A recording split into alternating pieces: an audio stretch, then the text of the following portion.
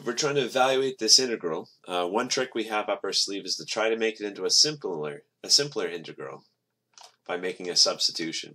And u, for some reason, has always been that letter that we substitute. What you want to do is you want to let u be this entire denominator. And it will only work if we're going to have the derivative of u available. Okay, so we got to figure out what the derivative of u is with respect to y. So the derivative of constant 0 this derivative 3y to the second, that's 6y. We've almost got it. We just need to have a 6 up here instead of a 3.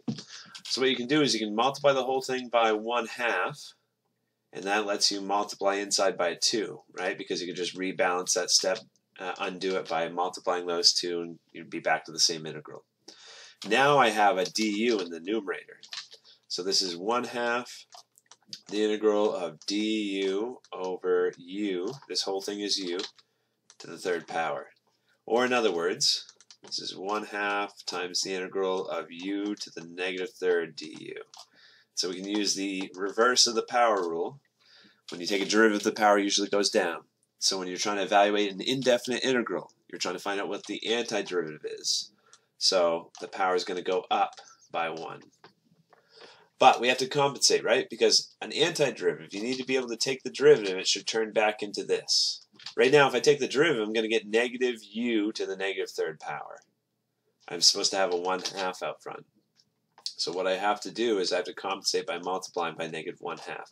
That way, when you take a derivative, negative 2 times negative 1 half makes 1, right? And then the power gets reduced by 1, and we're back to where we started. So this is the antiderivative we just need plus some constant c.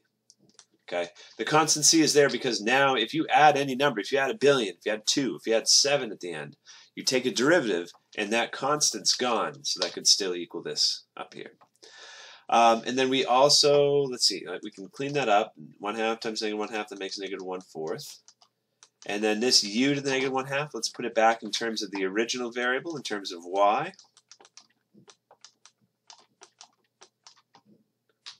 it's negative second power. Or this is just an algebraic way to rewrite it. This is negative 1 over 4, 2 plus 3y to the second power plus c. Okay, because we move this to the bottom, change the exponent to a positive. Okay, so that's it. Whoops, so when I uh, substituted 2 plus 3y squared, I forgot this 2 on top of the y. So that should be here.